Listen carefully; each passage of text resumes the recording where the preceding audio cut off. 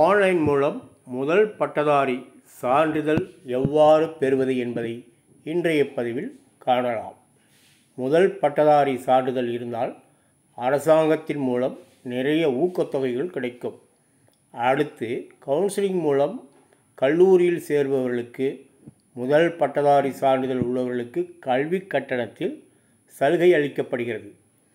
நேரடியாக டிப்ளமோ இரண்டாம் வருடம் பயிலும் மாணவர்களுக்கு முதல் பட்டதாரி சான்றிதழ் மூலம் சுமார் நாற்பதாயிரம் வரை கல்வி கட்டணம் குறைத்து சலுகை வழங்கப்படுகிறது. மருத்துவத்துறையில் படிக்கும் மாணவர்களுக்கு ஒன்று புள்ளி ரெண்டு ஐந்து லட்சம் வரை முதல் பட்டதாரி சான்றிதழ் உள்ளவர்களுக்கு கட்டணம் குறைக்கப்படுகிறது. இப்போது முதல் பட்டதாரி சான்றிதழ் ஆன்லைனில் எவ்வாறு பெறுவது என்ற விவரத்தை அறிந்து கொள்ளலாம். யாரெல்லாம் விண்ணப்பிக்கலாம் என்பதை முதலில் பார்க்கலாம். முதல் பட்டதாரி சான்றிதழ் விண்ணப்பிப்பதற்கு குடும்பத்தில் டிகிரி முடித்தவர்கள் இருக்கக்கூடாது. அதாவது உங்களுடைய பாட்டி தாத்தா அம்மா அப்பா இவர்களில் யாரேனும் டிகிரி முடித்திருந்தால் நீங்கள் இந்த முதல் பட்டதாரி சான்றிதழ் விண்ணப்பிக்க முடியாது. அடுத்து உங்களுடைய அண்ணன் அக்கா யாரேனும் டிகிரி முடித்திருந்தாலும் விண்ணப்பிக்க முடியாது. உதாரணமாக தம்பி தங்கையோ தற்போது படித்து கொண்டிருந்தால் நீங்கள் விண்ணப்பிக்கலாம். விண்ணப்பிக்க போகும்போது அவர்களுடைய photo Aadhaar card smart card TC அதாவது டிரான்ஸ்ஃபர் சர்டிஃபிகேட் மதிப்பெண் சான்றிதழ் வீட்டில் இருக்கும் நபர்களில் படித்த டிசி இருக்க வேண்டும். ஸ்டெப்பை பார்க்கலாம். முதலில் கூகுள் ஆப்ஷனில் டிஎன்இஜிஏ என்று டைப் செய்யவும். அடுத்து அவற்றில் வரும் முதல் டிஎன்இஜி என்பதை கிளிக் செய்யவும். இவற்றில் சிட்டிசன் லாகின் என்பதை கிளிக் செய்ய வேண்டும். அதில் சைன்இன் இருக்கும். தங்களிடம் அக்கௌண்ட் இல்லை என்றால் புதிதாக யூசர் நேம் கொடுத்து ஓப்பன் செய்து கொள்ளவும். பழைய அக்கௌண்ட் இருப்பவர்கள் லாகின் செய்து கொள்ளலாம். லாகின் செய்த பிறகு ரெவன்யூ டிபார்ட்மெண்ட் என்ற ஆப்ஷனை கிளிக் செய்யவும். அவற்றை கிளிக் செய்த பிறகு ஃபஸ்ட் கிராஜுவேட் சர்டிஃபிகேட் என்பதை ஓப்பன் செய்யவும். தேவையான ஆவணங்கள் சரியாக கொடுத்து ஒரு முறைக்கு இருமுறை பரிசோதித்து பின்பு ப்ரொசீட் என்ற ஆப்ஷனை கொடுக்கவும். இதில் அடுத்த ஸ்டெப்பை பார்க்கலாம்.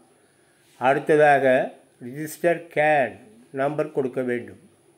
இந்த நம்பர் தெரியாதவர்கள் உங்களுடைய பெயர் அப்பா பெயரை வைத்து சர்ச் செய்யலாம். அடுத்து சர்ச்சில் உள்ள கேன் நம்பர் பாக்ஸை கிளிக் செய்யவும். அவற்றில் ஜெனரேட் ஓடிபி என்ற ஆப்ஷனை கொடுக்கவும். அடுத்து நீங்கள் ரெஜிஸ்டர் செய்த எண்ணிற்கு ஓடிபி எண் வரும். அந்த எண்ணை ஓடிபி என்ற இடத்தில் கொடுத்து கன்ஃபார்ம் ஓடிபி கொடுக்கவும். அடுத்த ப்ரொசீஜரை பார்க்கலாம். ஸ்டெப் நான்கு. அடுத்து ப்ரொசீட் கொடுக்கவும். இப்போது இந்த விண்ணப்ப படிவம் ஓப்பன் ஆகும். இந்த படிவத்தின் இதற்கு முன் டிகிரி முடித்தவர்கள் உண்டா என்ற இடத்தில் இல்லை என்ற ஆப்ஷனை கிளிக் செய்யவும். அடுத்து குடும்ப உறுப்பினர் பேரினை சேர்க்க வேண்டும். படிவத்தில் அப்பாவின் அப்பா பேரினை குறிப்பிட வேண்டும். அவர்களின் வயது தகுதி கல்வித் தகுதி உறவுமுறை அடுத்து அப்பாவின் அப்பா உயிருடன் இருக்கிறார்கள் என்றால் ஆம் அல்லது இல்லை என்ற ஆப்ஷனை சரியாக டிக் செய்ய வேண்டும். இதுபோன்று குடும்பத்தின் அனைத்து நபர்களையும் சேர்க்க வேண்டும். அடுத்ததாக பார்க்கலாம். கல்வித் தகுதி என்ற இடத்தில் சரியான தகுதியை நிரப்பவும். அதன் பிறகு கல்வி பயின்ற ஆண்டை சரியாக கொடுக்க வேண்டும். கரண்ட் கோர்ஸ் என்ற இடத்தில் கிராஜுவேட் என்பதை கொடுக்க வேண்டும். இன்ஸ்டியூட் என்பதில் நீங்கள் தேர்வு செய்து வைத்துள்ள கல்லூரியின் பேரினை மற்றும் முகவரியை குறிப்பிட வேண்டும். அனைத்து கல்லூரிகளுக்கும் இந்த சான்றிதழை பயன்படுத்தி கொள்ளலாம். கடைசியாக செக் செய்த பிறகு சப்மிட் பட்டனை கொடுக்க வேண்டும். ஸ்டெப் ஆறு.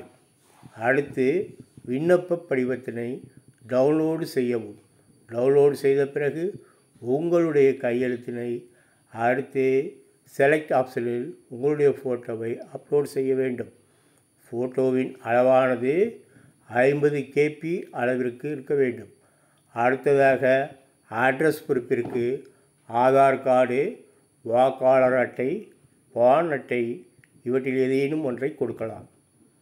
விண்ணப்பதாரின் மதிப்பெண் சான்றிதழ் கொடுத்து அட்டாச் செய்யவும். சான்றிதழ் அனைத்தும் ஒரிஜினல் உள்ளவையாக இருக்க வேண்டும். ஸ்டெப் ஏழு அடுத்து செலக்ட் ஆப்ஷனில் கரண்ட் அகடமிக் இயர் சர்டிஃபிகேட் என்பதின் இருந்தால் அவர்களின் மதிப்பெண் சான்றிதழ் அல்லது டிரான்ஸ்ஃபர் சர்டிஃபிகேட்டை வைக்க வேண்டும். அம்மா அப்பா இவர்களின் டிசி இருந்தால் அப்லோட் செய்ய வேண்டும். ஸ்டெப் எட்டு. அடுத்து செல்ஃப் டிக்ளரேஷன் ஆஃப் அப்ளிகேஷன் என்ற ஆப்ஷன் உள்ளதை டவுன்லோட் செய்யவும். செல்ஃப் டெக்ளரேஷன் அப்ளிகேஷன் இவற்றில் பெற்றோர்கள் படிக்கவில்லை என்றால் அவர்களின் கையெழுத்தினை அட்டாச் செய்ய வேண்டும். அடுத்து ஸ்மார்ட் கார்டு அட்டாச் செய்ய வேண்டும். சான்றிதழ் விவரம் கொடுத்த பிறகு நன்கு பரிசோதனை செய்துவிட்டு மேக் பேமெண்ட் ஆப்ஷனை கொடுக்க வேண்டும். அடுத்து ஸ்டெப் எட்டு கட்டணமாக ரூபாய் அறுபது செலுத்த வேண்டும். இது அவ்வப்போது மாற்றத்திற்குரியது. அதை மேக் பேமெண்ட் என்று கொடுக்க வேண்டும். அடுத்ததாக ஸ்டெப் எட்டு செலுத்திய தொகைக்கு ரெசிப்ட் ஒன்று வரும். அந்த ரெசிப்ட் உங்களுடைய சான்றிதழ் எண் வந்துவிடும். இந்த எண்ணை வைத்து செக் செய்வதற்கு செக் ஸ்டேட்டஸ் என்பதை அப்ளிகேஷனில் கொடுக்க வேண்டும். விண்ணப்பம் சரியாக செய்வதற்கு ஆப்ஷன் ரெண்டு கூகுளில் டிஎன் சர்டிஃபிகேட் வெரிஃபிகேஷன் என்று டைப் செய்ய வேண்டும் அவற்றில் லாகின் என்பதை கிளிக் செய்யவும். அடுத்தில் அக்னாலஜ்மெண்ட் ஆப்ஷனில் உங்களுடைய சான்றிதழ் எண்ணை கொடுத்து வெரிஃபை செய்யலாம். இந்த சான்றிதழை நீங்கள் பிடிஎஃப் முறையில் ஓப்பன் செய்யலாம். ஏனென்றால் உங்களுடைய டிஜிட்டல் கையெழுத்தானது அப்போதுதான் சரியாக இருக்கும். படிவத்தில் பச்சை வண்ணத்தில் டிக் வரும். பிடிஎஃப் மட்டும் இதுபோன்று முதல் பட்டதாரி சான்றிதழ் வரும். அவ்வளவுதாங்க. நன்றி. மீண்டும் சந்திப்போம்.